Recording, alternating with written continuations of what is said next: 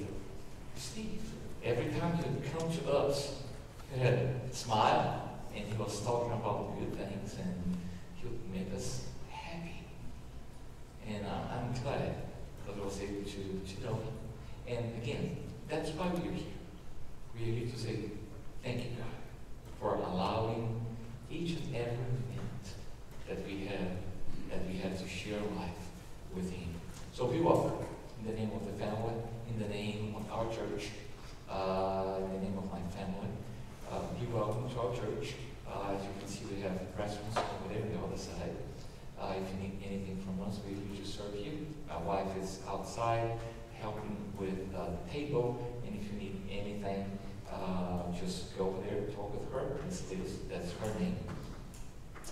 But at this moment, uh, I would like to read the scriptures, to read Psalm 23.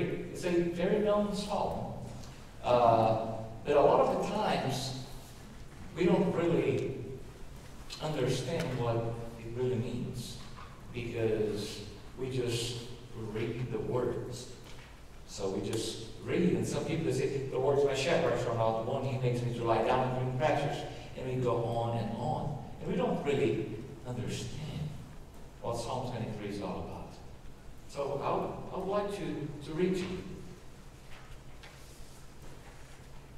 The Lord, He is my shepherd, and I, I shall not want. He makes me to lie down in green pastures, and He leads me beside the still waters. He restores my soul. He leads me in the paths of righteousness for His name's sake. Yea, though I walk through the valley of the shadow of death, I will fear no evil, for you are with me. For your rod and your staff, they comfort me. And you prepare a table before me in the presence of my enemies. And you even anoint my head with oil,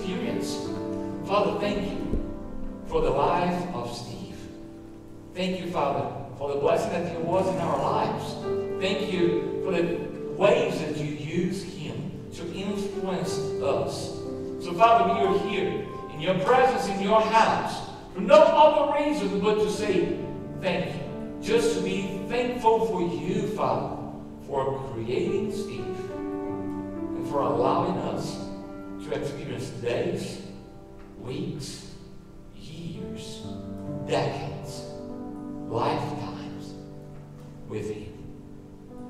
Father, receive our worship in the name of Jesus Christ. We pray and praise you. Amen. Amen. this moment, we are going to be singing. There's a congregational song, Dayton. Will come here and he will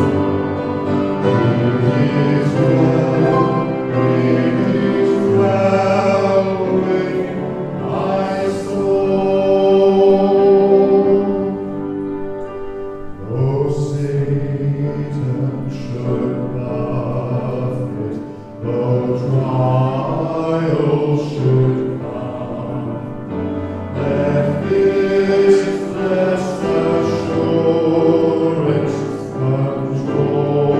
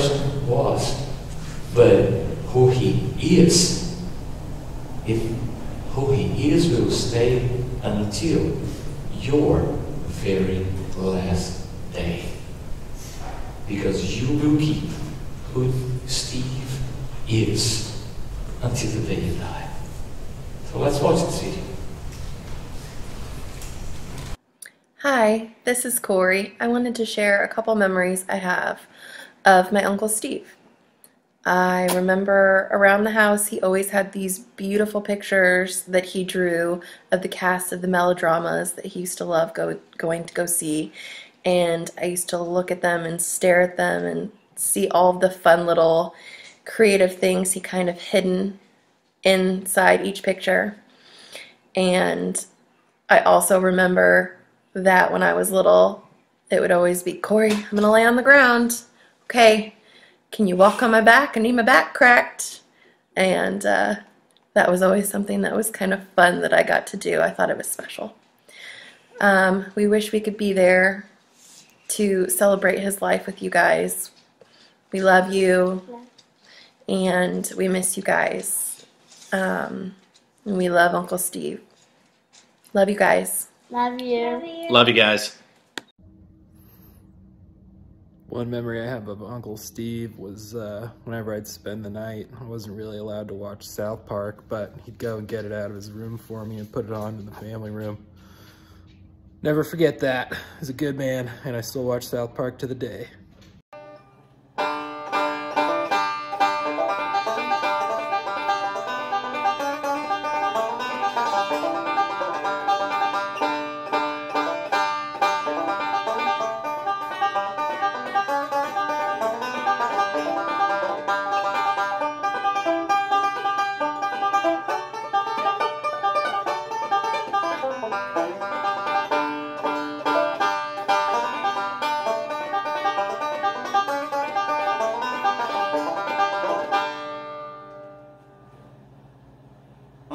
Had a passion for music that he shared with everybody in the family. I remember every Christmas he would give me a new recording of a banjo picker or a different album that had bluegrass on it that I'd never heard of before.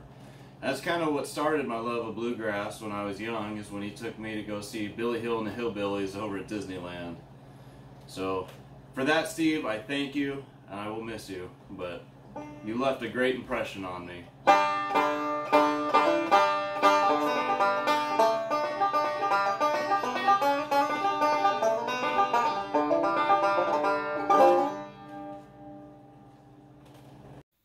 Cool thing about Steve is that he was able to be the inventor he de- desired to be and do the things that he loved doing music, art, connecting with people um, on his own terms.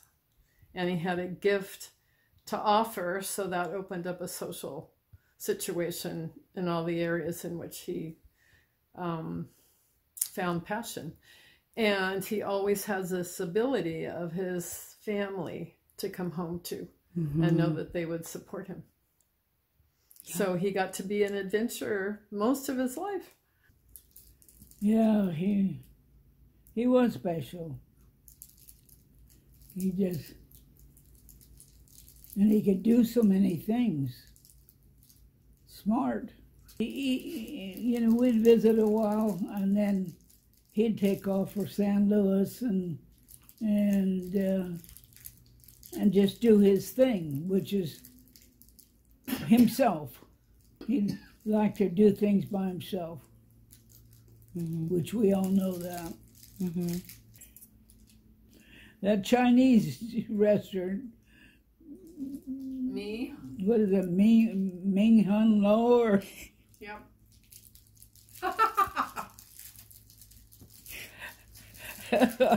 I think it was something like that. But uh, that's where he liked to go. But that's good. He liked it. Of course, we all like Chinese. he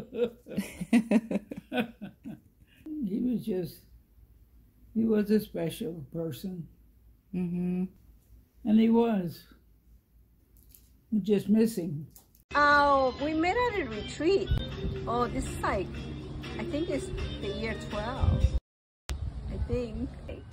My sadness, my loneliness, loneliness are over because now I found the person.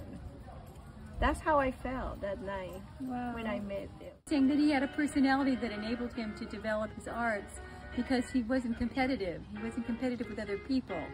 And I've noticed that people who succeed in the arts, they're not competitive. You know, they're they're into their they're into their art, and a lot of them get taken advantage of because the way the artistic brain works is very different from the way the financial business structured brain works. Mm-hmm.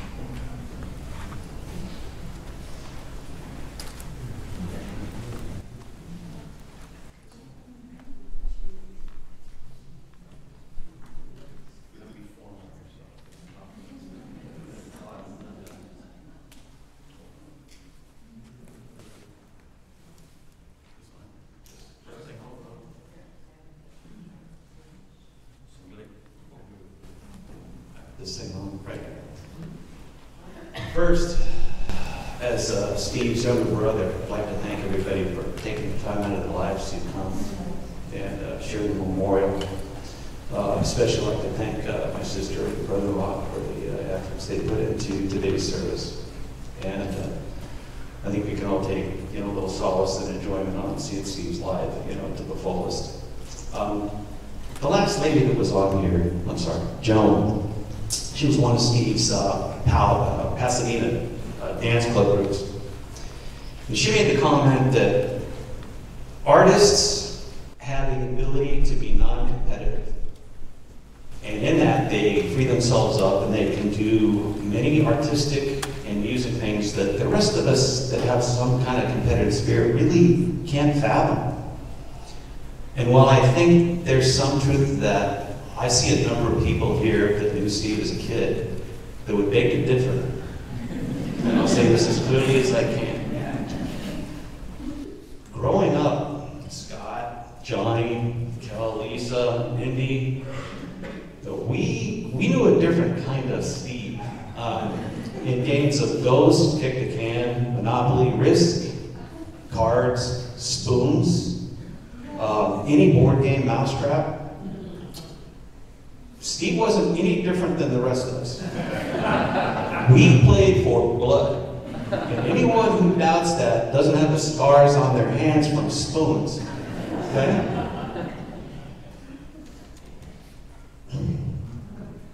Each of us, from what I'm finding out over the last two weeks of being out here, and going through his iPhotos, and talking to Judy, who you saw in the, the, the interview, the little uh, redheaded lady, uh, darling person. Steve was a fragmented individual in the way he approached life. He had friends with the church, he had friends with music, piano, ragtime, drama, um, the artistic, the animation. It, it's mind blowing that each of us kind of knew a little fragment of me. My parents are just now discovering a different side of Steve they just had no clue of. And it's a positive part. So we're blessed today to be together to have this nice ceremony and, and uh, look at Steve's life and to take those little bits that each of us have and and put them together for the entire person. Sorry. I knew him from a you know from a brother standpoint, and I knew him to be damn competitive. And I don't use the word damn lightly. Steve was an absolute trained killer in a game we used to play in a four-foot doughboy pool with a taped mast. It was basically Marco Polo. It was painful, it was vicious, and it was sometimes bloody. And even my wife, who first tried this one time, went, You people are insane. So, you know, my part. Excuse me. Say this to Steve one more time. You're red, no touchbacks.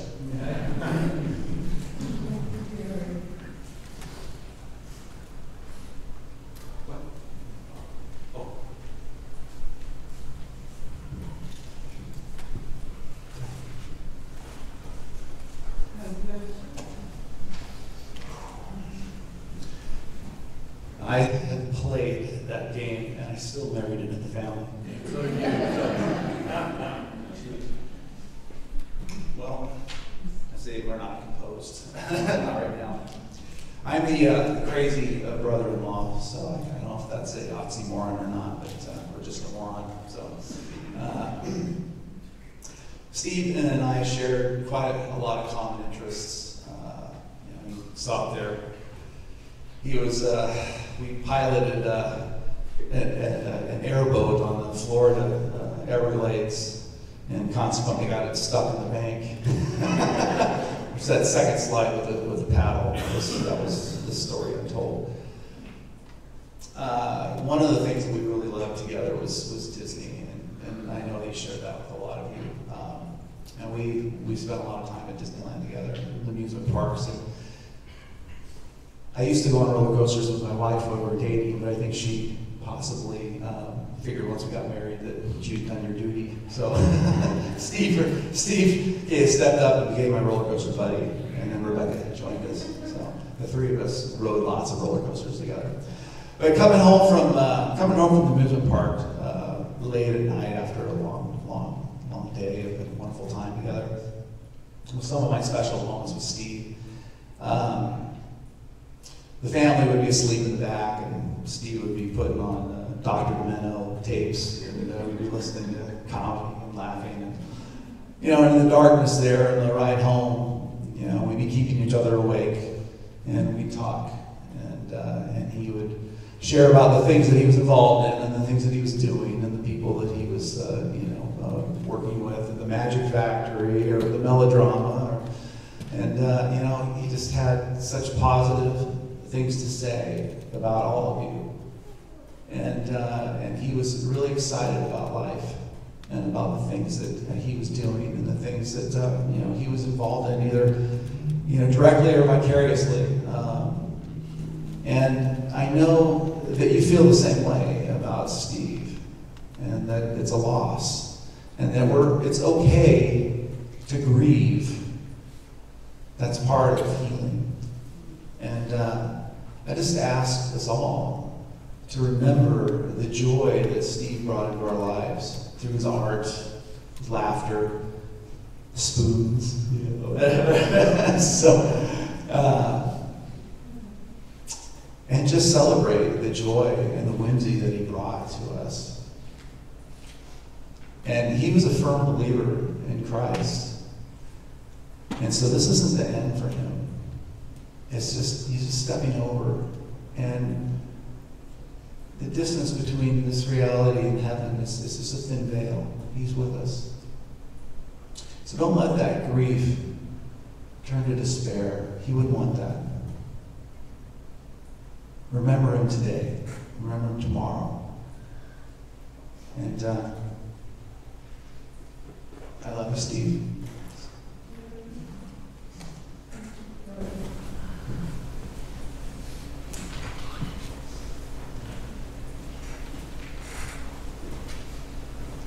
I'm very out of my element. Dress me in black and put me in the back, and I'm a happy camper. So, bear with me. I've been pretty strong for the last two weeks culminating with this. And I know I'm gonna fall apart, but I know you all get it. We all live life.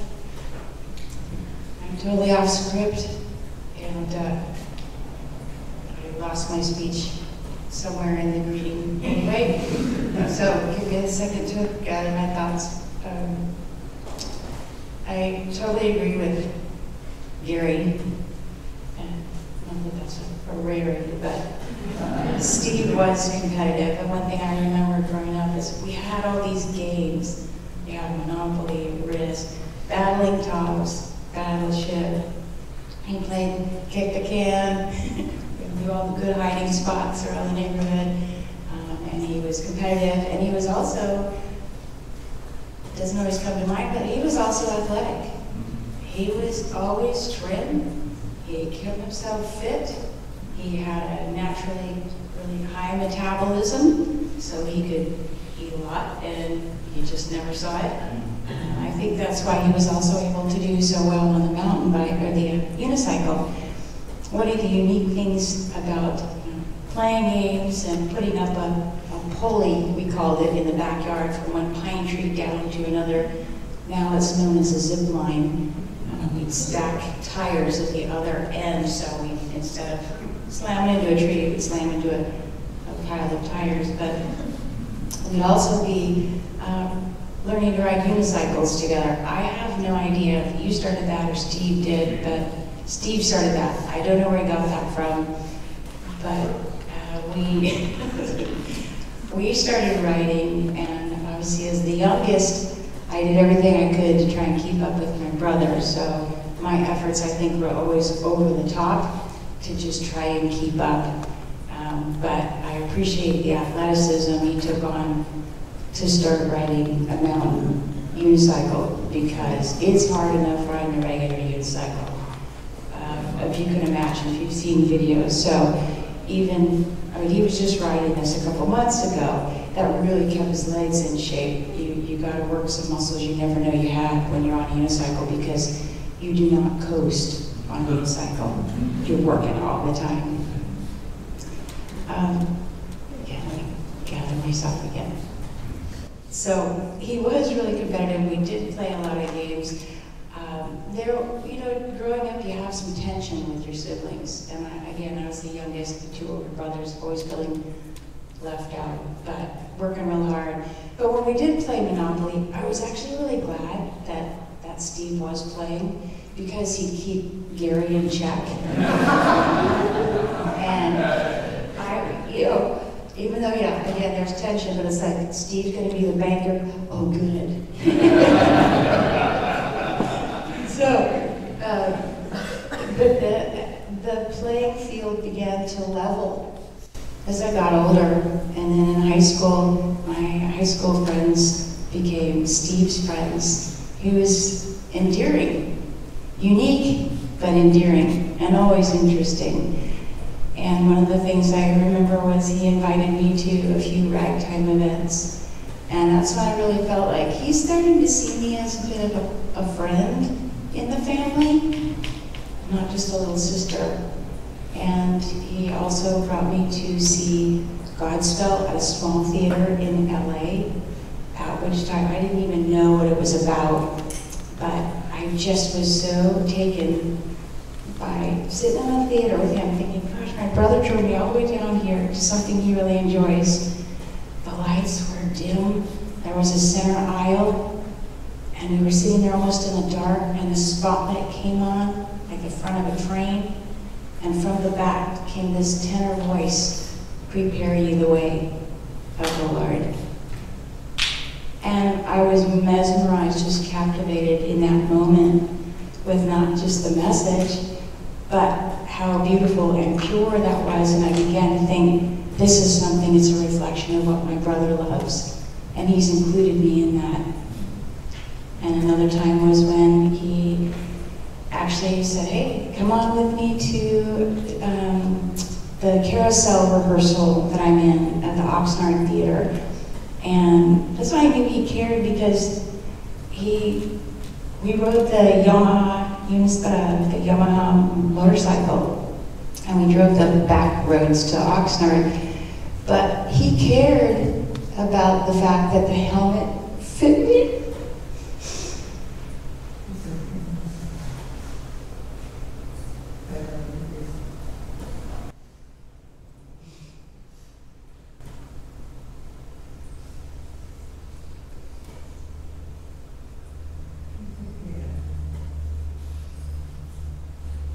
I haven't let myself do this. I didn't plan on it up here, but Fred Strong. But as we grew older, the care and the unique sensitivities, I began to appreciate. And when he spoke with me, there was a, a respect that I hadn't recognized before. I guess that's the beauty of growing old, too.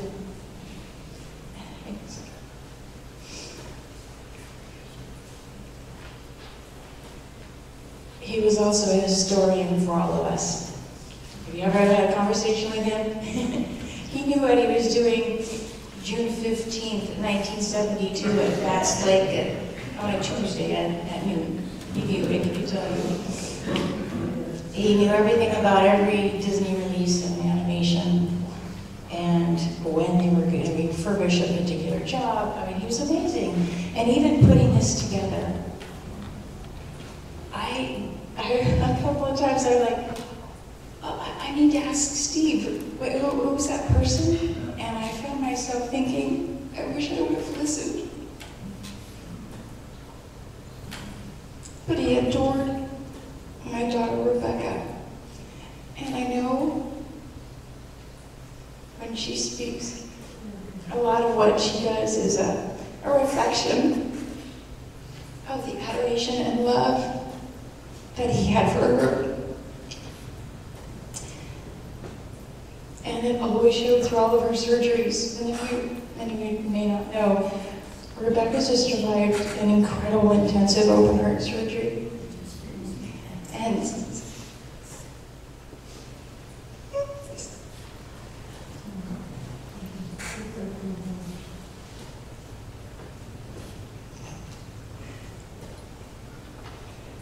Steve was so concerned about her. But he stayed quiet because those things are hard for him. But even a few weeks out of surgery, she's amazing. He was speaking into her, forward thinking. We're going to plan a Disney trip. You know, that's one thing that is hard to do. Somebody who knows they've been on life support for nine hours under a team of 15 cardiologists and down at Cedars for three weeks. And you share that with this living being who's been through such a traumatic event. We're going to go to Disneyland for a little while. You'll get better. Kind of beyond words. So, I don't know where I was even in the speech, of the draft, but I just really want to let you know that every one of you that's here and all the different venues in Steve's life, you know, recent or a long time, you all reflect his uniqueness and his artistic flair in one way or another. There's something about him that you really appreciate. There's something about him that you're going to keep with you the rest of your life. Something about him that's really influenced you. And I, I just want to momentarily recognize there are students here that are in art classes at, I forgot which university. California Lutheran University. Oh, California, okay. Recently met Steve, and even in that short time, when he was invited to speak into the class and the students um, under um, Harry's direction, the instruction, or the instructor, um, they found and felt that, that, that endearing influence and creativity that Steve had. And it blesses my heart that, you know, we've, we've got individuals here from all walks of Steve's life, even up to the recent time when he was being allowed to speak into the lives of students, uh, college students, which as many of you know, is my passion of 30 years as a college counselor. So just to know my rather worked in that same capacity, even if it was for a couple weeks, really meant a lot to me. Um, I, I hope that you're all blessed by um, the, the ceremony, what's put out before you. Um, I- I'd say more about him, but I'm saying it through the service, the music, um, the, the exhibits here. Literally, I've got a lot of these things right out of his room. And the piano, he was just playing it just prior to going to that dance the night before he passed. And we've tried to recreate his papers are on the right-hand side of his piano bench. He was learning the crave, another ragtime piece. So um, I, I hope that you all just uh, just soak in the, the beauty of his creation, which is represented by just a little bit here. And I'd like to ask, there are, there are three people that I'd like to just come and speak briefly. I, I'm sure I'm way out of my time frame, um, but I appreciate you all being understanding. Um, I'd like to call Linda up to say a few words, and then I'll have Harry speak, and also special friend Terry speak. So Linda, would you like to come up?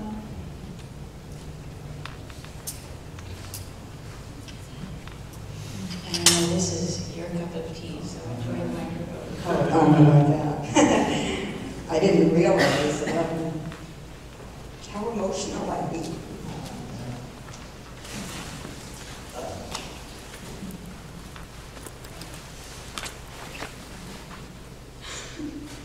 This to me. But I've known Harold, I've known um, Steve for uh, 35, at least 35 years, 35, 40 years. He um, met me because of being more part melodrama. He- I don't, I don't even remember how I met him. But uh, I do remember his creativity, how he would, um, you know, ask, can I sit in and do some drawings? And I said, sure. And then I saw what he was drawing, and then I wanted him to come and do every show. And it was a remembrance of all the actors' parts that they did. He, I don't think he ever missed a show. I think he did them all. And I see back there you have pictures of him in a little book that I would love to have a copy of because it, the big ones take a lot of room. That's little, I can take that. But he, he would put the essence of the person in the part that they were playing in those drawings that you see back there, okay? And I, I know sometimes he would make pictures of me with somebody else with or whatever, and it would have the personality, and sometimes I go, you see me like that? And then, and then if you look carefully, you'll see on there, he put himself in each of those drawings, so try to figure out, well, you can find out who it is, because it's like him, he's, he's him. But the interpretation that he did of everybody and each show just showed his, his creativity, his genius. Um, and I'm just, I'm just sorry that more people don't know about it. He should have gone, he should have been up there with the greats. I mean, he is a great, and we know he's a great.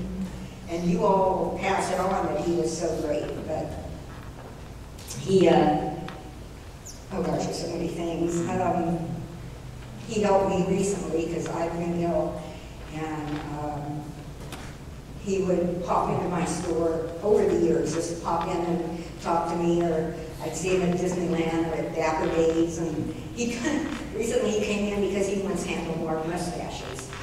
So um, that, or his, uh, you saw his hat back there, the, the crow on the hat.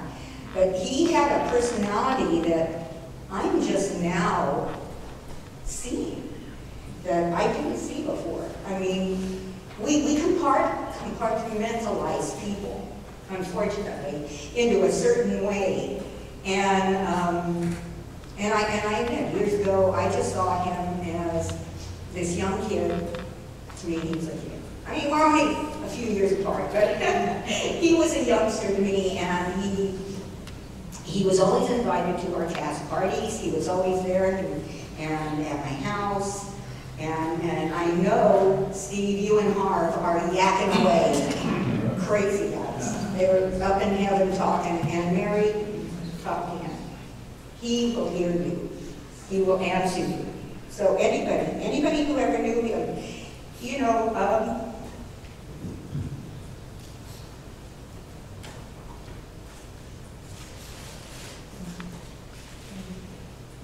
sorry. And I find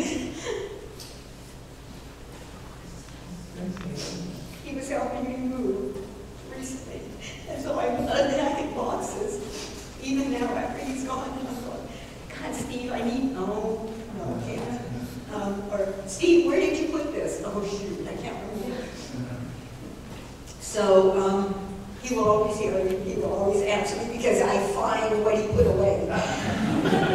so, um, but you know what I, I, I found through the years, and I'm sorry if I'm taking so long, but through the years I've noticed how he's come into his own person. Okay, when, back when he was with me in the theater, he was one person. And then coming and me seeing him at Dapper Days at Disneyland, he, he opened up. And then, and I've noticed in the last few years, since he, he started to dance, which was a, I mean, I looked at him and I go, you dance now? And he was dancing at places that I have danced for 20 years. And, and so it was a treat when I would go in and see him there and we would find, we would dance. Um, and that, I think, opened up a lot for him because, and, and I knew he had friends in the melodrama, and I knew he had friends with Harry, but know all the friends he had. He could walk up to anybody and talk your ear off, okay? And but he he was telling you something you wanted to hear. People listened to him. You know, I mean, he would talk my ear off, and if I wanted him to stop talking, I'd say, go? I mean, uh, Steve, go water that plant for me, and he would talk all the way to the plant and all the way back. but I learned things of his life with what he was t- telling me at that time. Um,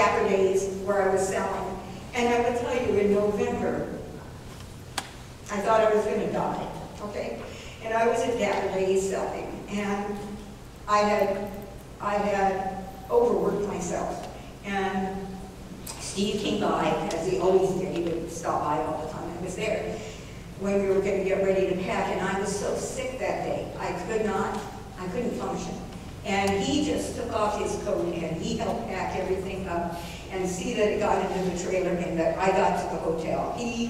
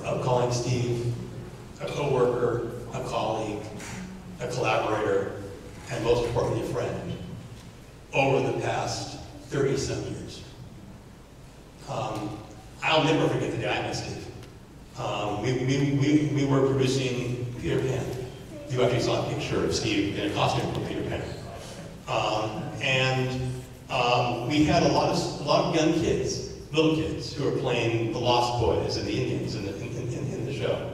And our stage manager was completely out of her wits' end trying to keep these kids wrangled and organized and patient while the actors are up on stage, you know, performing. You know, it isn't on stage. We're doing this in, in, in a rundown, dilapidated, ruined uh, strip mall uh, at the time. Um, and, um, and, and, and, and, and two or three times the, the director would have to come and start screaming at the kids, you know.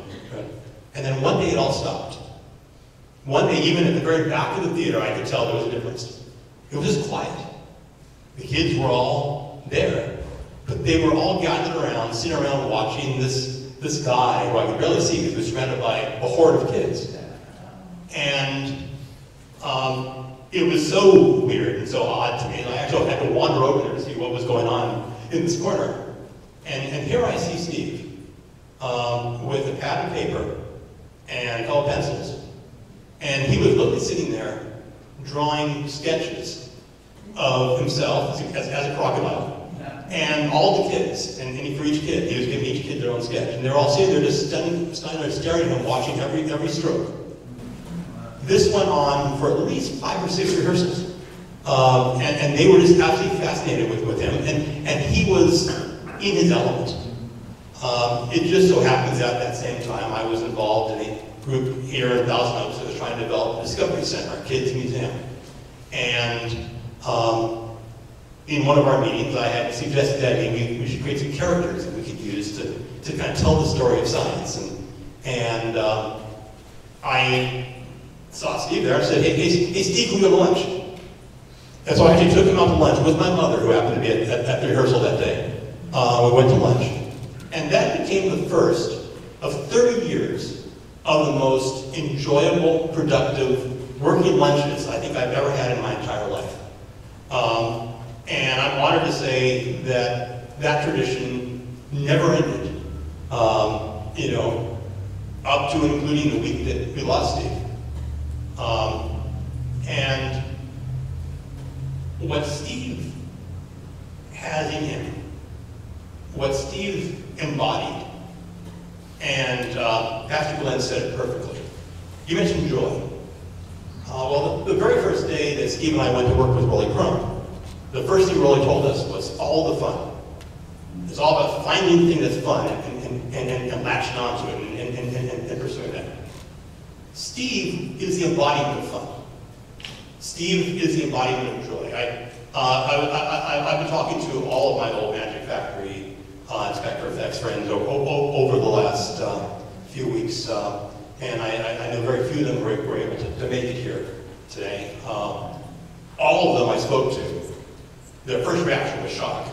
Their, their second reaction was Steve was the nicest guy, not Steve.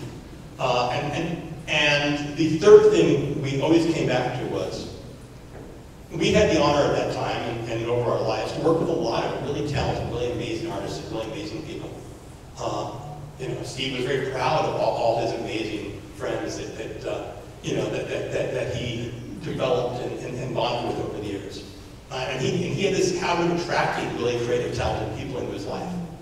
Um, when we talked about Steve this the last few weeks, all we could come up with was, you realize, you know, Steve was number one, the most humble artist we ever had. He, he, he was the most humble person we ever worked with. Steve, Steve, on the other hand, was the, the visual spirit, the visual heart of everything we did in Magic Factory. Um, when Rolly Crump uh, and I and Phil Bernstein all left Spectre Effects, and Steve uh, Steve, Steve started as, as, as an intern in, in, in, in our digital department at Spectre Effects. With, within two weeks, uh, he became our lead mock-up artist at Spectre Effects. And he helped me mock up so many really cool attractions rides fun stuff. And he was an imaginary art. Um, when we left Effects and broke, broke off with Effects, uh, the, um, the very first conversation we ever had about Magic Factory, I, I was at Rolly Crump's house in, in, in, in, one of his gardens, and seeing it from the gypsy wagon. And we're talking about who we want, who, who we need to bring with us from, from Spectre Effects, this new company. And the very first name both of us agreed on was Steve Lewis. In fact, the very first piece of furniture, in fact, the first major investment we made, before we had keys to an office, when we started Magic Factory, was Phil Bernstein and I went out and bought a drafting table and chair for Steve Mutz. Um, and that may be the smartest and best investment I made the entire time I was involved with Magic Factory. Um, Steve was truly, you know, the, his sketches, his characters, his, his interpretation of our crazy ideas, uh, basically gave the spirit that set the tone. We may have had other artists come along and do all kinds of other variations with them. But, what, but whether it was Magic Factory or Magic World or Barbie's World um, or any of the haunted house projects we've done over the many years, he's helped me with so many countless haunts at the Magic Castle, haunts schools. Um, he, he, um, he, he, recently worked with many of my students as, as, and came to help us with the haunt we did uh, at, at, uh, for the Moorpark School District this year. Uh, and I'll never forget the Halloween that Steve and I spent. Uh, we built a hut in my front yard. Uh, we operated it for, for the entire night. We tore it down. We then went to my living room and spent the night till 4 in the morning. Uh, I, I, had a book I was, I was I, I had been commissioned to write that had to be, that had to be written in six weeks. And, and, and, and, so Steve was there with helping me clearly down. I asked him if he'd draw a couple sketches for the book. We sat there for like six hours to, till four in the morning, uh, and literally just brainstorming, and, and I would throw out an idea, and, he, and, and, as I said he'd be drawing. And every, every single sketch in the book was Steve. Um, I had the great honor of, of, doing book tours with Steve and, and science with Steve. And when it came time to tell my class, my definition of collaboration, where we actually had a whole lecture on collaboration, and what a collaborator is. The definitive model I chose to use for that example was Steve Mutz. Because you mentioned the non-competitive part, and, and, and, not to jump on Joan, who made a comment about, well, there's, there's artistic people there's business people. Ironically, Steve actually was a very shrewd business person, too. He did think about business. Uh, Steve, Steve, Steve was one of the most conservative of our business voices when it came to anything decision we made at the Magic Factory. Um, and he was probably the smartest of all of us. He was certainly the best investor of all of us. Uh, and he talked, and he loved investment. He, I mean, one, one of his other passions, I mean, yes, his piano playing was, was stellar, puts me to shame, and I consider myself a composer. Um, but his, uh, you know, it, not only passion for art, passion for animation, passion for Disney and characters, he had a passion for Wall Street. He, he talked about stocks all the time. Um, and uh, he and, and, and, and, whether he whether he did well on them or didn't, you know, from time to time, at times he did very well. Um, you know, he was always thinking business. Um, and you mentioned earlier the the, the, the, the, you know, the fact that, you know, one thing that artistic is perhaps not so competitive. And in that, I think you're right. Because while he does think about business, he certainly always was, I mean, um, he was also the very, one of the very first people, I think the second person who we had on the list when, when Jeffrey Greer and I started working on Cypher, Cyberport, our, our, our most recent theme park endeavor. And, I mean, um, this picture, um, you know, a lot of elements on here, most elements on here were things we put together for Steve's bio page um, for that project as, as, as, as a principal member of our team. Um, and when, uh, you know, Steve is the kind of guy who, the kind of artist who you want at your table when you're, when, when you're brainstorming a project. Steve, Steve is the kind of artist who you can say anything to. Whether he agrees with, if, if he agrees with you, he will, you will see it in his eyes. You'll see the smile on his face. You'll see the excitement. He shows the fun. Right? If he doesn't, he'll never, he'll, he'll never come out and say that's a terrible idea. He'll never come out and, you know, he, he, he'll, he'll, say, oh, that's cool, well, why don't we try this? How about this? And, and, and he'll say it with such, a, with such a childish thrill and energy that even the most uh, strong-willed and, and uh, sometimes, sometimes overbearing you know, divas on a team will nod and smile and get caught up in the enthusiasm and say, that's a great idea. Um, that's unique in the entertainment industry. It's it's, it's, a, it's valued skill, a valued talent. And to have a coworker, colleague, who can, who can, who can be like that with you, be a bouncing board for you, and can share in the enthusiasm of project, not bring down the team ever, but build it up and just contribute, contribute. And even if he doesn't like where, where it's going, he's, he'll, he'll still be there championing on and, and make it better. And that was Steve. Um, and I am most honored that in the last few weeks, um, I had the privilege of inviting him to come speak to uh, our visual arts department uh, and in our Imagineering class um, at, at CIL. Um, I invited him come in for one day, and I wanted to show them some of the characters that he and I had developed over the years. And, and, and, and, and we actually challenged the students to put together rides, designs of rides based on our characters that we had uh, been working with for years. Um, and I figured Steve would come in, you know, show, show him some pictures, portfolios, you know, maybe give a few words of guidance and, and. Um, Steve had such a good time. Steve came to life. The men who walked in the room and they started talking with him and they started looking at his work and he started seeing theirs. He loved, um, you know, he wanted to come back the next week to watch them personally when they came back and showed us what their ideas were. And they came up with it. He came, he came back to the pitch section. And he didn't want to leave. He stayed the entire class. Um, the next weekend, sadly, we lost our good friend Rolly Crump.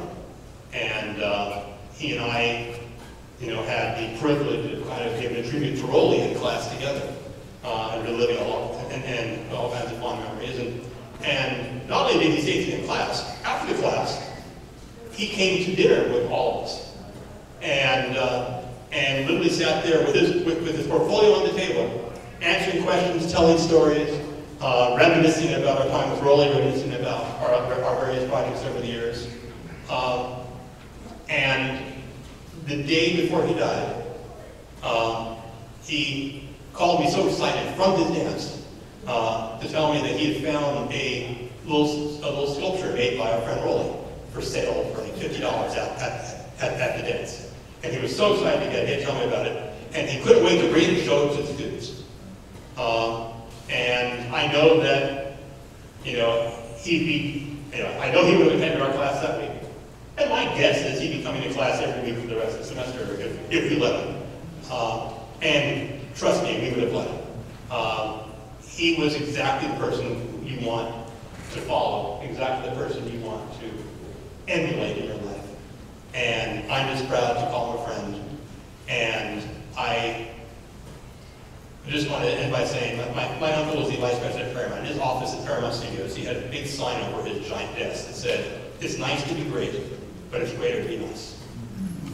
Steve Mutz was a great artist, a great collaborator, a great friend. but he also was the nicest man you will ever have a chance to meet. And I'm just honored to have him in my life. My heart goes out to his entire family. Um, Rebecca, he did not stop talking about you once in, in 20 years. Uh, and I, I- feel like I know you all so well, even, even- even though I meet you for the first time face to face. Um, And, and all I can say is, um, you know, he, he wore his, you know, his happiness, his friendship, and his love as an emblem for anyone to see. And all of us who knew him knew how he felt about us. And, you know, he knew how we all felt about him. And that's, that's the best you can hope for in this life. Sure. We, we can do that after the celebration. Oh, we, we can, yeah. Yeah, let's do Okay. that celebration. Great. Thank you so much. Terry, we should be finishing us up here. I'd love to hear what you have to say too. Thank you so much for being here. Who is this masked woman who is walking before you? I'm Terri Hardin, Walt Disney's legendary Imagineer. I have worked for Disney for a very, very, very, very long time. Steve, I'm a little irritated with you right now because you did not tell me you spoke to students. I'm going to have to have a talk with you, mister. I also, forgive me, hi mom, hi dad. He told me about mom, but I didn't know he had a dad. Dad, were you the authoritarian? Is this why you laid down the rule mom was a party animal? Because he said you guys win, you won that big pot where his face went around in Las Vegas all over because he won a lot of money. And I remember he just, see the thing about Steve is he would say to you, oh yeah, yeah, I won $42,000 when I went to that oven. Excuse me, what? Yeah, I was playing the slots and I won $42,000. This is Steve, okay? I knew he had a brother, but the person that trumped the brother was Rebecca. Okay? I have pictures of Rebecca at every stage of your surgery. Every single stage. He was very upset and very worried about you. And he chose me to be the one that he told it about. Why? Because we're very like-minded people.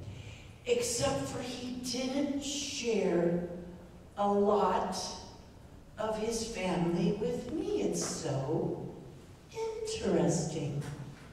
Very interesting. I know about his drawings. I know about his creativity. I especially loved his novels and his books. But I have to tell you that, uh, how did I meet Steve? Lisa, you're gonna love this. Sit down and get comfortable. You're Terri Hardin. And I went, and for the next hour, he recited my history. When you were a child at eight years old, you painted eggs, and those eggs sold for $20 a piece, and at eight years old, you made $400. You don't believe that there's a broke artist. There is no broke artist in your, in your repertoire. There is only success. At eight years old, that was eight years old, but at 14, you made 148 gingerbread houses, and then those gingerbread houses had custom boxes. Blah, blah, blah. You got upset with Disney because they rejected you over a million, zillion, gazillion times. I have enough rejection letters from this mouse that I hated Mickey Mouse. He could wallpaper this church twice with my rejection letters. And yet I've been an Imagineer for a very long time. If you've been to Disneyland Paris, there's a 35-foot, fully articulated dragon that this young lady designed and created, starting with a pencil. Now, it's true about Walt Disney. He, uh, the Disney company is a little bit shy about sending women over across the pond. But we never give up. But that was Steve, just my whole entire history. And I said, and what's your name? I knew him for about 12 years. And I don't think it's hit me that he's left Earth. mom and dad because he always, we had a date. So if he was missing on July 17th, I'm sorry, but he was with me. we were at the Disney birthday party. That's Disney's birthday. He never missed a day except for during the pandemic. And then we called each other. Didn't we? Yeah. Yeah. It was amazing. So let me share something with you guys. You are grieving not for Steve. We are grieving for us. We know that he's flying up there and probably has a killer set of wings. Okay? He's happy. He's actually conferring with his friends. I think he actually followed Rolling. But the point is this we grieve for us because we know that we have to wait to see him again. But we know that we will see him again. So I don't want you, especially you, young lady, don't beat yourself up because you didn't ask him the special question. He kept his family from me. his entire family from me. Disney, Disney, Disney, Disney, Disney, Disney, Disney, swing, Disney, Disney, Disney, Disney, unicycle, Disney, Disney, Disney, Disney, Disney, church, Disney, Disney. In fact, when I told I have a group called Terri's Tribe, it's on my Patreon page, and many of them met Steve last year when I was uh, deemed a legendary Imagineer by an international fan club. He came, I said, we're all going to lunch. We're from all corners of the world. And he came to lunch with us, and then he went to Disneyland with the tribe and without me. And, uh, so. But the point is this always, always, always about Disney, always, always, always about my work. But he never, and believe me, I asked, I am one of those people that likes to be all about you. It's a habit I have. Um, but you don't, he, I guess, I don't know. The pumpkin sculpting, he would come in the morning and stay all day when I was teaching pumpkin sculpting. He would come in the morning if I was anywhere that was close to him during presentation, come first thing in the morning, help me unload, and then help me pack. So the first thing that comes to mind when I think of Steve is a parking lot. We all have our dreams. But he came out right to the parking lot, would help me load in, would help me load out. And uh, I have to be honest with you, I think the birthday is when I'm going to really let go. And I have to tell you, this is beautiful. You guys did a great job. Never apologize for bursting into tears. It's the thing that helps every, everyone else connect your heart. See? Feel? Feel? Feel? All of you who I don't know, I love you. And I hope that we will get to meet each other and see each other soon. And I'll be having this little chat with the mister that didn't share. I remember my tribe said, when I said he had passed away after dancing, they said, he's a little old to go clubbing, right? yeah, no, not, not clubbing. Okay, he, he, he, he did a swing. You have to be careful how you speak today. You couldn't say he's a swinger, because then everybody gets the wrong impression. So I said he dances, I had to say he dances swing. And then I had to explain what that meant. Um, but then everything was good. So thank you for having me. Thank you for inviting me. Um, he is such a lovely man. He is such a lovely presence. And uh, I, you will carry him, no offense, Pastor, I love you too. You're going to carry him beyond death. Because death is life. Okay? It's just another phase in our story. But understand, we as humans, we're greedy. We want to keep everybody with us. Couldn't we just all go together? You know, we'd love to cross over together. Can't we just do that? Can't we just all go together? I'm not looking forward to losing anybody from here. But the fact of the matter is, that's the way it works. So rejoice in your grieving, hug each other, hold each other, be good to each other. I think the birthday is going to have a flood because that's when it's going to hit most of us because that's where, and this May because there's a presentation that I did and I'm back and it's going to really feel bizarre. You know how your hands and your body start to tingle because someone's around that's no longer there or Maybe it's their spirit. Um, that's going to happen in, in May. So uh, thank you, Lisa, for having me speak. I hope this helps you all feel better. And uh, it really felt good to hear all y'all talk and to see your sparkling face when I came in and to see you right down here. I think you really nailed it with the Kleenex strategically placed, you know, choose the right places, Lisa. Good job. And uh, I hope we'll be friends now that I know you exist. Okay? Let's swing. Yes. Wait a minute.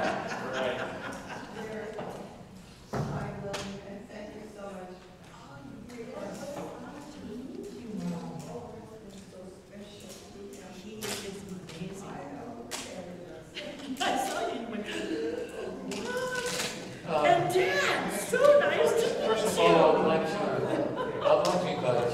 You, you just stood up at this moment. We have been sitting down for a very long time. And it's good for us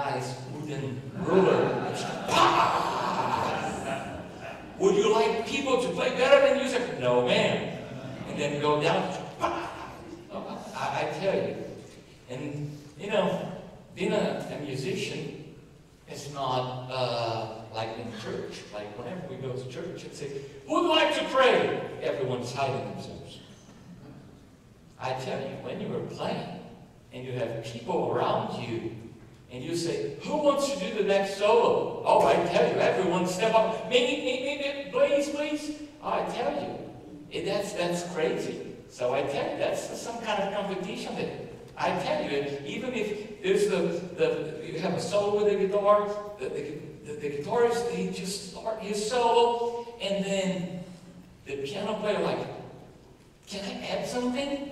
Can you calm down? Like, that's his solo. And then the bass player comes like, listen to that. I'm like, can you please stop? So I tell you, anyone who plays something, I tell you, you need to be a little competitive because like even like in a band, I tell you, if you cannot hear at yourself at your instrument so well, you're like, can you put you know my thing higher, you know, louder?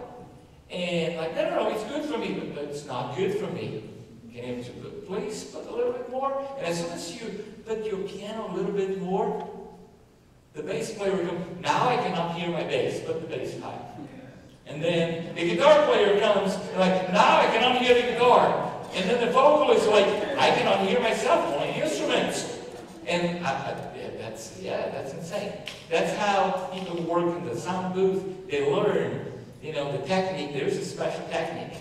Every time that someone says, but, but a little louder, they just do like this with their hands. They do like this. But they do not touch the little knob. Like, is that good now? And like, a little more. And they're like, is that good now? Yes, now it's great. They don't even touch the knob. Victory. I would like to talk with you for a few minutes about victory. I know that it is very sad. It is sad for us to be gathered here. It is. But as we gather here and we have sadness, we also have joy because of the life, because of the experience, because our hearts are filled with hope. And how can we explain that our hearts are filled with hope? We can only hope regarding someone if that someone is something. I cannot hope that you're going to move from your place if you're not willing to move from your place, all right? So the hope that we have about our future and about eternal life is because we know that Steve is not stuck in a place saying, yeah, I don't care about anything. He's sure, and he makes sure. That's where I met him. I met him right here, sitting down on one of the first few chairs, you know, few pews of, of, of, the church. I'm going back to the Brother Tim and playing together. His hope was in nothing else but in Jesus. His hope was in his eternal salvation. His hope was in God's plan. And today we're going to be talking about victory, a victory that is everlasting, a victory that changed the course of our lives. And this victory, we can face and we can live by this victory if we have faith. If we have faith in the person of Jesus. So we know that we live in a decaying world. Yes, it is. I, again, I don't, I don't remember who was saying something, but yes, growing up on the 70s and I would say even 80s, it was completely different than being raised in the 90s and this last year, it was completely different. It was. I tell you, you know, we have zip lines, it was not called zip lines, and we loved to hurt one another, and it was just nuts. You know, I remember playing swords. Uh, uh, I have a younger brother. We played swords, but back then we didn't have swords, so we had steak knives. and we stopped. You know, I have one. I have two little scars right here. I tell you, we were playing swords. Bleeding, cover. Don't tell mom. That's it. And just put in the mouth and kids now, nowadays, they don't know like, you know, they don't, they don't play like this. You know, we'll play tough, tough, and tough until someone starts bleeding. When they start bleeding, it's like, don't tell anyone, come here, let's just fix that. that that's okay. That's okay. How can we live victorious in a decaying world? In a world that we can understand? In a world that has lost its morals, that lost the concepts of ethics, that lost the concepts what is right and wrong. A world where everything is subjective. Oh, it, it depends on your opinion. It doesn't depend on your opinion. What is right is right, what is wrong is wrong. If you to think whatever you want, it's your thought. It doesn't make something right. Oh, I think that taking someone's life is not right. It, it, I think that taking someone's life is completely right. It doesn't make it right just because you think. You know, this world is filled with it's just subjective. Everything is relative. Oh, it depends on the point of view. In arts, yes, it depends the way that there's a vintage point. That depends how we see things. But real world is not art. We use our art to better the world where we live.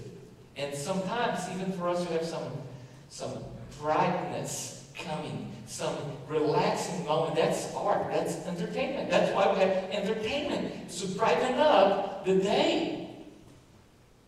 But even though art is relative, you can look at a Picasso painting and you say, was that guy drunk? Oh, what? And you can just stop and say, wow, that's perfect crooked lie.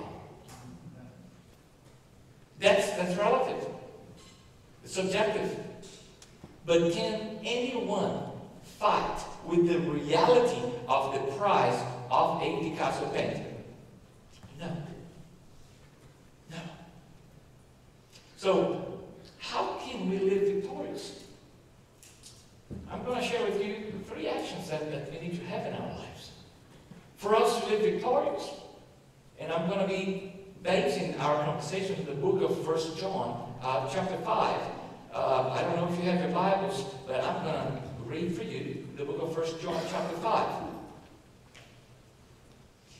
First John chapter 5, verse 1 says, Whoever believes that Jesus is the Christ is born of God, and everyone who loves him will be God also loves him who is begotten of him. So the first action that we need to have for us to live victorious is for us to believe in God. That's simple. Oh, I don't believe in God because I don't, I don't think that God exists. It's because you don't believe that God exists doesn't make God to not exist. Period. Oh, I don't believe. I, I, I, I, I, I don't know how things happen. I don't believe that the sky is blue. Oh, I tell you, you know, whenever you look up, you know, it's uh, it's quite blue. Oh, I don't believe it's pink. I tell you, unless it's 9 p.m. on a, on a summer day and the sun is hitting that perfect spot, the sky's not going to be orange or pink. It's just going to be blue. So, doesn't matter how many times people say, oh, it's pink, but it's good. It doesn't matter how many people say, oh, I don't believe in God. He exists. He talks with us. His existence is proven. Not only, you see, the Bible, like some people say, oh, this is a crazy religious book. Oh, that's also a history book. This is also that proves history, that you can prove all this. You can prove all the Bible in history for thousands and thousands of years. Oh, we can prove the book of Exodus. We can prove David. History proves. Oh, but I don't believe in the Bible. How can you not believe in something that we have a proof, a living proof? How can you not believe in the in Jesus Christ as the Son of God when we have so many prophecies, so many prophecies, hundreds of prophecies, taking us to the time of Jesus, and every single thing was completed and fulfilled. 1,000 years before Jesus died, King David was writing a song saying that the Savior, the Lamb of God, would, would die on the, on the wood, on, on the cross. Oh, how would David 1,000 years before Christ would know that the, after him we had the, all the all the Nebuchadnezzar and all the great Empire with Alexander, and then the Romans would take control in the last century. So we didn't have the Romans for a very long time. The Roman Empire started 50, 60, 70 years before Christ. And the Roman Empire was the only empire that killed people with crucifixion. Oh, David had already said 1,000 years ago. So it was necessary for one specific empire, the only empire that killed people in a cross, would have to come and take place. Oh, that's not a prophecy. This is just one. Again, coming back to believing God, we need to believe in God. That's the first action that we need to have for us to live a victorious life in a decaying world. The, the text says, whoever believes in Jesus Christ, that Jesus is the Christ, is born of God. We can be born of God when we believe that Jesus is the Christ. The Christ is the Messiah. He's the anointed one that was sent by God to us to give us salvation to pay the spiritual price. Oh, but I don't, I don't know about all these little things. We live in a spiritual realm.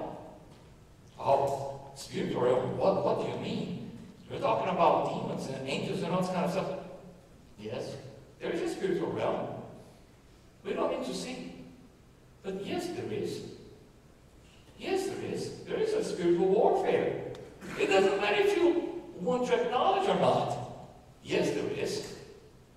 And you don't want to be naive enough to live a life that says, oh, I don't believe that, and if I don't believe it doesn't exist. Seriously. It's like playing like peekaboo. I cannot see you. Peekaboo. Now, now you cannot see me. Uh, You cannot see me because I cannot see you. That's how people, there are some people that they live a life like this because I cannot see God, God doesn't exist and God cannot see me. Playing peekaboo. They spend their waste, actually they waste their whole lives doing this. Oh, there's no God because I cannot see. Wow. Jesus is born of God. And in the end says, at the end of this verse 1, it says, and everyone who loves him, who begot, everyone who loves the Father, also loves him who is begotten of him. So, you cannot love Jesus if you don't love God. There's no way, no way for us to experience salvation and change of life if you don't believe in God, if you don't believe in Jesus. Oh, I can go to heaven just because I'm a good person. Yeah, based on what? In what you want to believe. Or in the truth that has been proven right and correct for thousands and thousands of years. A second action that we to take. To be able to experience a victorious life. And all this is based on the faith and the truth of the faith of Steve. And this is the other side of the part. My friend here was saying that she didn't know all the family. Yeah. Now she does. And I would like to expand another part of Steve's life. Yes, he talked a lot about these things. Yes, he did. But there was another part of his life. And he didn't talk so much because his excitement was Disney. Like he could start talking about church as soon as he think about something and he go like, whoo, go another direction.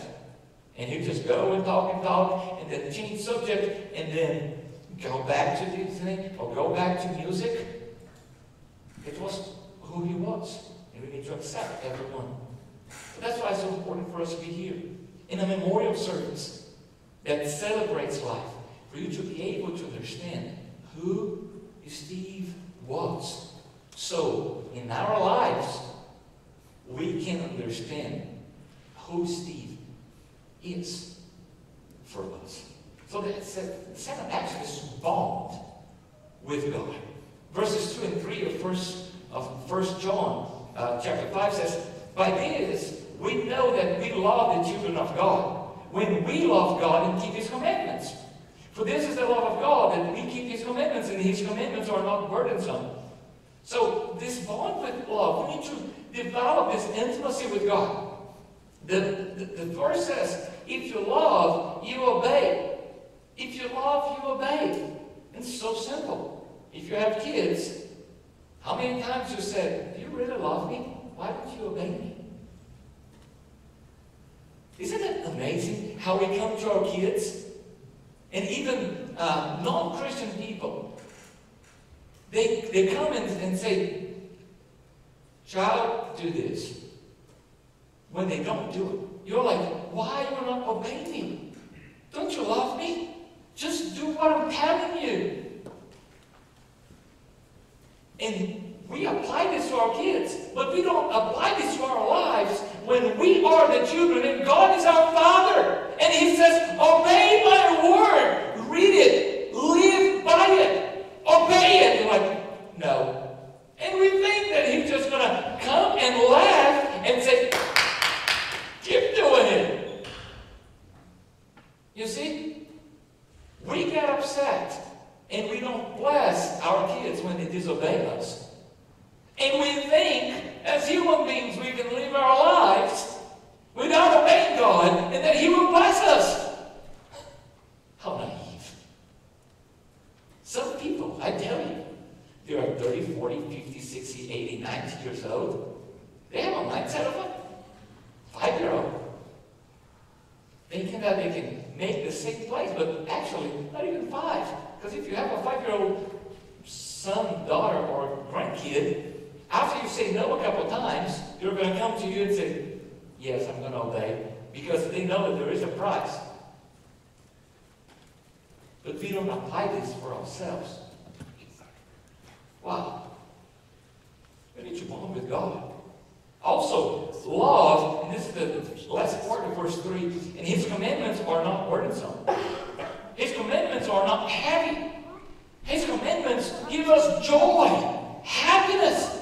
Again, that's why Steve could live the life that he lived.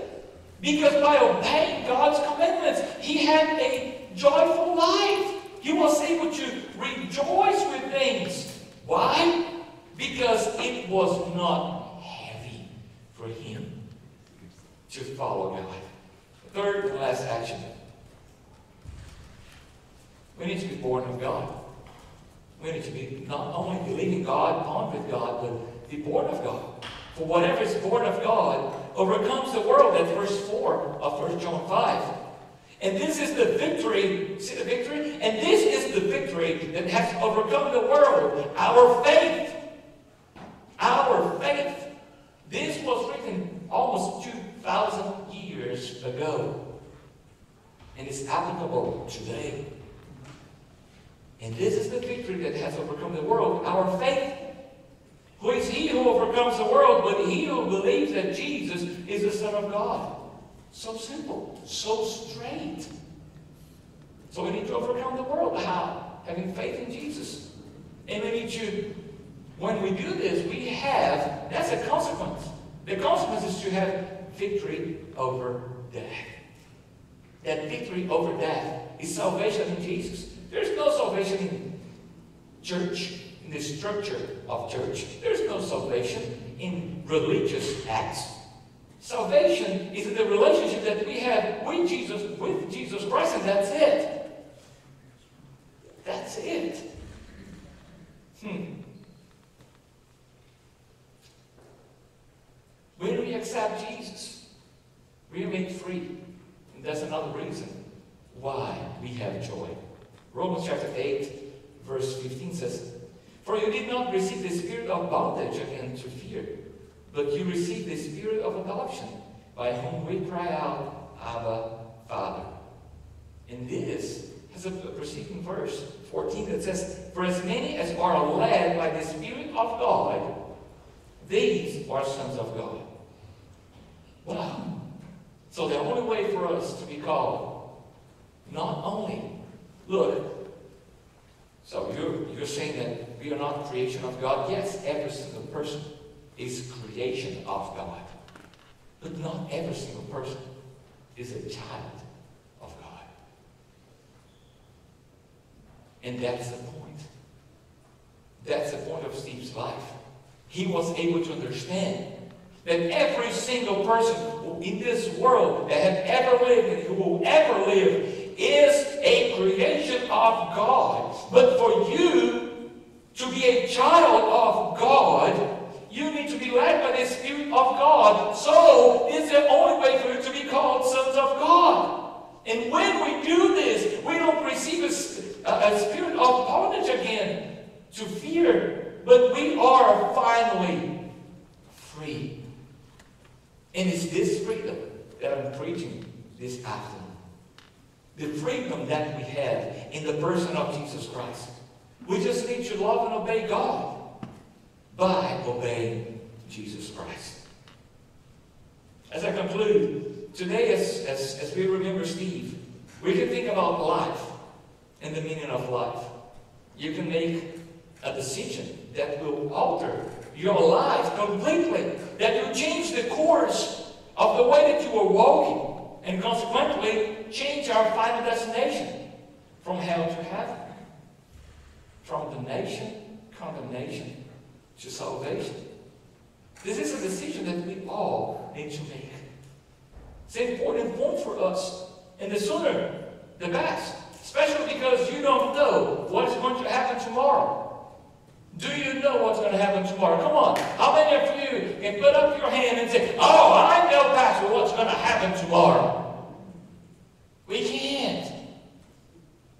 Four weeks ago, I was good. I went to a prayer meeting in Ventura with some pastors, and then I went to Oxnard, uh, riding my riding my, my, my, my, motorcycle. Uh, I I don't drive, I ride.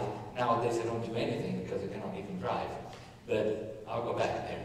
So, riding the motorcycle all the way to Ventura, then I went back to Oxnard, and then I I make a visit in the rehab facility of someone in the church, and then I'm leaving that rehab facility. I'll tell you, crazy lady, crazy lady. She was coming way too fast, and probably she was aiming at my motorcycle. She liked my motorcycle, and she just wanted to crash me. So that's what she did. She was aiming at my leg. Thank God, it, it got in the crash course, and it did not just, like, really destroy my whole leg. You know, broken hip, broken femur, and all this kind of stuff, pins all over, and all this kind of stuff. You know, it's all fun. So it was literally four weeks ago. So that's why I cannot move. But I tell you, I had no idea that in one minute I would be visiting a rehab facility, visiting a church member. And two minutes later, I be laid down on the ground with a broken hip, broken femur, and I had no idea what was going on. I had no idea. All my plans, everything changed. Everything changed. I could not preach, I could not stand. Family vacations, I had commitments. I had to, to do a training uh, with, with, with, the Army. I'm in the, I'm in the Reserve Army. So I was supposed to, to, to really report myself to duty on a Tuesday. It was Thursday. And I tell you, I had to call them and say, hey, uh, uh, I just left the hospital, broken everywhere. Um, I'm so sorry. I cannot report to duty. Can you please wait a little bit? Everything changed. Everything changed. You may be thinking about my beard. Yes. Yes, I, I, had, I had to shave, of course. And the accident took place on a, on a Thursday, and on Friday, it was the day that I was supposed to have all my military ID retaken and everything. So I was supposed to shave on Thursday evening. So on Friday, I'll be completely different. You see, I still have a beard, so. I had no idea what was taking place in my life. What if? What if I didn't survive? What if I had left that morning without talking with my family? What if the last word that I had with my family were mean words? What if I had not made a commitment to walk with Jesus and to submit my life to Him? And I was, let me just say, the crash took place. I was going around three miles an hour because I was just starting to move. If I were going five miles an hour, just a little faster, instead of my leg, it would be my body. What if? What if? I would like for you to leave this place knowing exactly where you're going if you die today. Because Steve knew. It was a surprise for us that he died. It was. But I tell you, he was sure where he was going. He didn't have any doubt. He had joy and he had freedom. And he wants you to have that same freedom and that same joy that we can only have in the person of Jesus Christ. Make the testimony of Steve can alert and can remind us of what really matters our spiritual life. Above all things that we praise, above all things that we like, don't forget your spiritual life. Because that's what will dictate where your final destination is. I was so glad that I met Steve. And he was a blessing to my life. At this moment, I would like to call Rebecca. And we're going to be singing a beautiful song. And after this, this song, uh, we're going to pray and we'll be dismissed.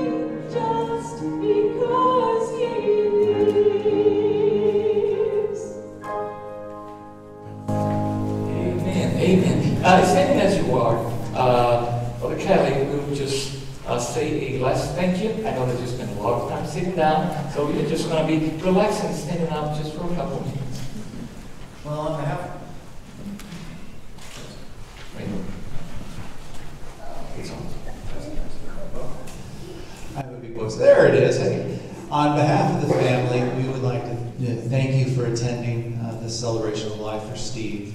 And uh, it's been a blessing to have you here. We'd like to continue uh, the celebration with a uh, reception out in the foyer, and uh, take the time to come on up here and look at the, some of the things that uh, Steve has created and, and, and the personal mementos there. Um, anyways, thank you again, and hope to talk to you soon.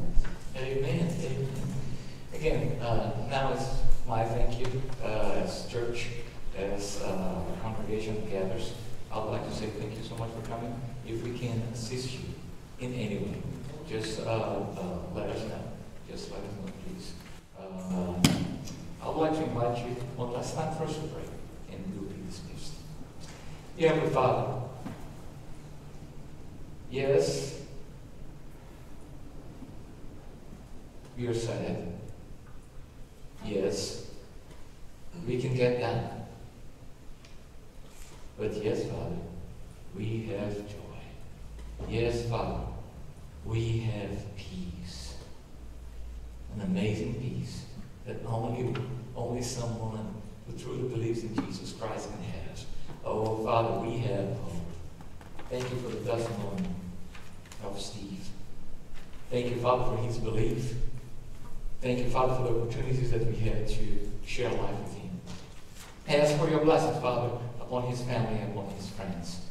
Father, may the Holy Spirit bring comfort to their lives, bring peace to their lives, understanding of your purposes, Father, for them.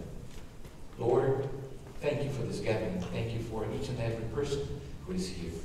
May the love of God, our Father, the grace and peace of our Lord, our Lord Jesus Christ, the communion and consolation and the comfort of the Holy Spirit be with all God's people, now forever. Amen. Amen. Amen. Now, as Brother Kelly said, the family is waiting for you, for you to check all the pictures and go outside and to have a feast. So enjoy the food, enjoy the company. And God bless you.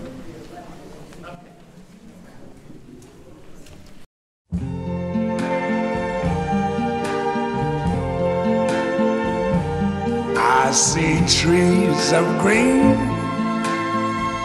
red roses too. I see them bloom for me and you. And I think to myself,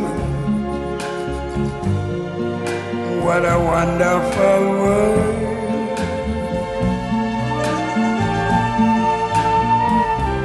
I see skies of blue clouds of white, the bright blessed day, the dark sacred night. And I think to myself, what a wonderful world.